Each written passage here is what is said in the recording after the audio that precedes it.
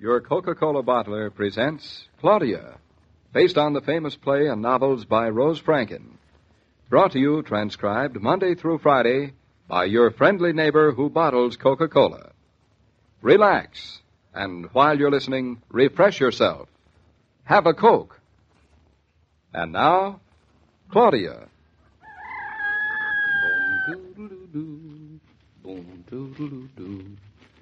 it's getting to be a warm day. I'm not climbing this hill too fast for you, am I, darling? Oh, I'm doing fine. Oh, David, look. What? There's a mist lying on the road. Just like smoke. Hmm? It's there every morning at this hour. Every warm morning. Really? I never noticed. Well, we're not usually up and out at this hour. Quarter after eight. Still very early. Nice to be up early. Yeah. Let's stop and catch our breath. Oh, darling, you're so tactful. Catch my breath, you mean. oh, say, how much time have I got to catch it in? When are we supposed to meet Matthew Warren? Oh, in about five minutes. Oh, I don't want to keep him waiting. It'd be terrible to get up this early and still be late. We'll see him coming across the fields. His fields are ready for planting, aren't they? I think some of them are planted already. Oh. They're as smooth and rich as good brown velvet. Don't frown, David. Ours will look like that someday. Sure they will. Look over in the far pasture. Mr. Warren's cows. How many has he, I wonder? A pretty fair herd for this part of Connecticut. Looks about like uh, 18 and 20. All brown and white. Must be jerseys? They're the best for cream. I know. Maybe some of them will wander into our pasture. Be nice to have something grazing in our pasture. Besides crows. Warren's cows won't wander into our pasture after this morning. oh, what a shame. Why not? But, darling, why do you think we're up so early? I don't know. Why do you think I'm taking a later train to New York? What do you think we're meeting Matthew Warren for at the edge of our property? Don't you remember? Oh, I give up. Matthew Warren called you and said, The winter has made the wall break down in many places, and you and he better get together this morning and repair it. David, how long do you think it'll take? what? What are we talking about? To mend the wall, of course. I don't know. Depends on how much damage the winter has done. Half an hour, maybe? Hmm, half an hour. At least a few hours. That long? That's not so long. Well, it's hours. Every other morning you can't wait to rush off, catch your train, and start being an architect again. This morning, just because you're going to repair a boundary wall, you don't care how late you're going to New York. Well, this is different. How different. If we're friends with Mr. Warren, whether his cows do come through a break in the wall or whether his cows do graze in the lower pasture, what's the difference? I don't think Mr. Warren would like it. Why not if we don't mind? It's our property. But it's his cows. Oh. Mr. Warren has pastures of his own for them. oh, you're not making any sense. I'm not eh? a I think you're being very stuffy. not stuffy, just practical. I say stuffy. And I think stuffiness and, and walls make life unfriendly and unneighborly. Darling, why do you think the New Englanders who first settled here bothered to clean their fields of stone and, and build walls with them? Well, it's obvious they couldn't farm or plant their land when it was scattered with stones. Why, David, even you know that.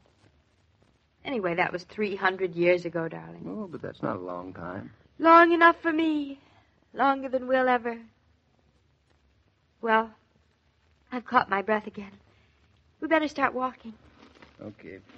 Now watch where you're going. It's awfully brambly around here, isn't it? Someday I'd like to get this side of the hill cleared. It's a beautiful walk to the top. My ankles come home scratched to the bone. You have to keep after her every minute, don't you? After who? Nature. Oh, her. You coming?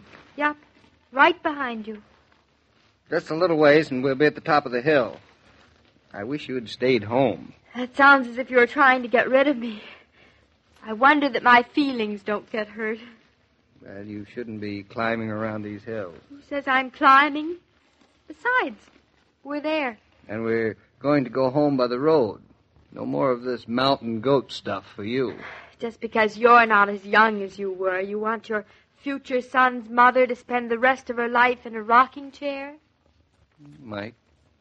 Oh, such a lovely warm breeze up here. It's nice to put your face into it. There. There's Matthew Warren coming across the lower pasture. Then we better start down to him. Now, wait a minute, darling. What, David? See the wall between our two properties? Between the elms? Yes. And it follows all the way out till it meets the road. Yes, I see it. But I still don't see what difference it makes if a few stones have fallen down. But I don't care. It's a lovely day to be out meeting a neighbor. If you want to mend a wall, darling, it's fine by me. You know, I'm starting to think that you don't like the idea of having a wall around our land. Maybe I don't. Now, that's a fine attitude coming from a woman who's always cleaning out her closets. Closets and walls. I don't get the connection. You will. You are fundamentally a very neat person. So come on. We'll meet uh, Warren at the bottom of the hill. Much easier going down, isn't it? Hey, no running. Who's running? Here, here, give me your hand. Oh, that's a nice invitation. Well, it's a nice hand. oh, David. I'm glad our land has a hill on it. Makes the place seem so much bigger to have a hill. How do you figure that? You can see so far around, way beyond our land. There's no end to things when you have a hill. There's no end to things anyway, darling. Yes, there is. When you have walls and things end. Oh, so serious on such a nice day. Hello, Mr. Warren. Take your time. Ground's treacherous. It's a nice deep voice. I like his face. It matches his voice. And that's good. Very. Your face matches your voice. That's one of the reasons I married you. I'll put that away to understand later. Hope we didn't keep you waiting, Mr. Warren. Oh, I just got here myself. Was held up this morning. One of my cows has pneumonia. Cows? Can they have it too? Indeed, they can. You must be Mrs. Naughton. Hello. Uh, glad to meet you, Mr. Warren. I've been looking forward to it. My new neighbors. And you're ours. You weren't joking? Cows can have pneumonia? Yes, ma'am. Cows can have pneumonia. Huh. Cows can have mostly anything people can. Oh, I, I hope she'll be all right. Well, we'll try to pull her through. You going to farm your land, Mr. Naughton? Well, I'm looking forward to it, but I'm having quite some trouble getting started. Take your time about it. This land's going to be here a long time. David, M- Mr. Naughton has been so anxious to have a farm, we just can't help being a little impatient. Oh, impatience never hurts. But having no patience is bad. I never thought of it that way. Well, I know you'll be anxious to get back to your barn, Mr. Warren, so. Yes, the vet's coming, so we'd better get on to mending this wall. You've broken up pretty bad from the winter. Mm, it was a record snow this year, wasn't it? Yes, nature gave us quite a beating. She likes to show she's got the upper hand every now and then. It's a year round fight getting a living off the land. I guess it always will be. But we get along. Now, what say we walk along the wall and patch her up as we go? You pick up your stones and set 'em back. I'll do the same on my side. Good. Good enough. Every year as I do this with Jared Tucker, now with you, I like to think back to the first year it was done. Three hundred years ago. This land was in my family then, on my mother's side. Putting up these walls meant quite a deal that first year. Mm-hmm. The land was ready to yield. The fields could be plowed and planted. Uh, more than that. My great great grandfather had won his first fight. He'd pushed nature back beyond his walls, and he found he could keep her there. Oh, but that was only the beginning. Yes, only the beginning. There it was before him, cleaned and marked off, farm broken, so to speak. A square of tamed land in a world that didn't take kindly to law and order. And the walls your grandfather built are still these? Yes, with these same stones. That one there you're holding in your hand, he could have held it, and his sons held it, and I have. God willing, maybe my sons and yours will hold it someday. But these walls aren't keeping nature back anymore, Mr. Warren. They're between you and us. Same thing. You've heard good walls make good neighbors, Mrs. Naughton. We'd be good neighbors without walls, I think. I think so, too. But a wall will never hurt. Because it's good to know that what's yours is yours. And what's mine is mine. And we'll never step on each other's toes. You think that without a wall oh, we... yes, I do. But every year something comes. Snows and storms and trees that are spreading their roots. They all come and tear down our walls. Break 'em up so you and I might get to quarreling about our boundaries and suspicious of each other. Ready for a greedy for a piece of the other's land, maybe.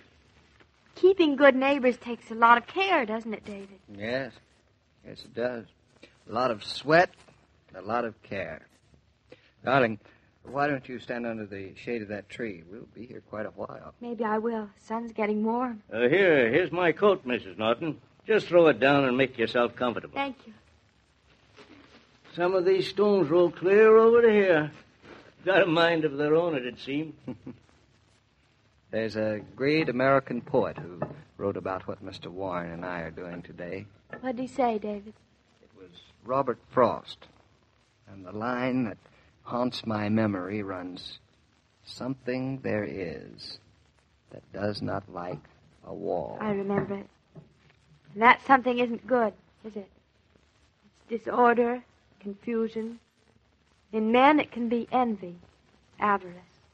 And sometimes the lack of privilege and the withholding of every man's right to possess something of his own that he can protect and nurture that makes some men not like walls. I'd rather build a wall so I could cross it in friendship than not have a wall and know I needed it.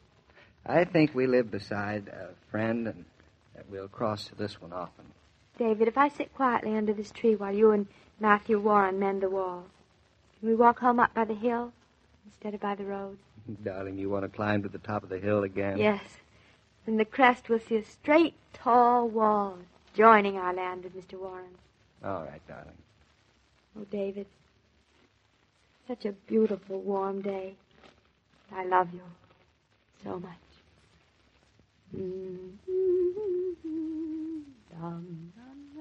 When you're lunching at a fountain or counter, you enjoy a Coke with your sandwich or salad. Why not make lunchtime refreshment time at home? All you have to do is to include a bottle of ice cold Coca Cola, and a mere snack becomes a festive meal. Keep plenty of Coke on ice. Buy it by the carton or the case, now that there's enough to go round again. Have you known the Naughtons long, Mr. King? Oh, quite a few months now, Mr. Warren. Quite a nice young couple. I welcome them as my neighbors. Mrs. Warren is looking forward to meeting them, too. Well, I hope it'll be soon. I'll tell Mrs. Warren to get one of our chickens ready and bring up some of our best preserves. Then we'll have the Naughtons cross the fence and come to dinner. Sounds like a mighty fine invitation. But it'll sound even better after tomorrow night. Tomorrow night? Uh, it's going to be a mighty hungry evening for Claudia and David. A beautiful chicken in the oven, and nothing for dinner but beans. How come? That's what we'll find out tomorrow. See you then, Mr. King. Goodbye, Mr. Warren. And as I was about to say, every day, Monday through Friday, Claudia comes to you transcribed with the best wishes of your friendly neighbor who bottles Coca Cola. So listen again tomorrow at the same time. And now this is Joe King saying au revoir.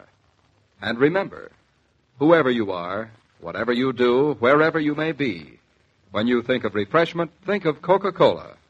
For Coca Cola makes any pause the pause that refreshes. And ice cold Coca Cola is everywhere. This broadcast of Claudia was supervised and directed by William Brown Maloney. And now here's a word from your friendly neighbor who bottles Coca Cola.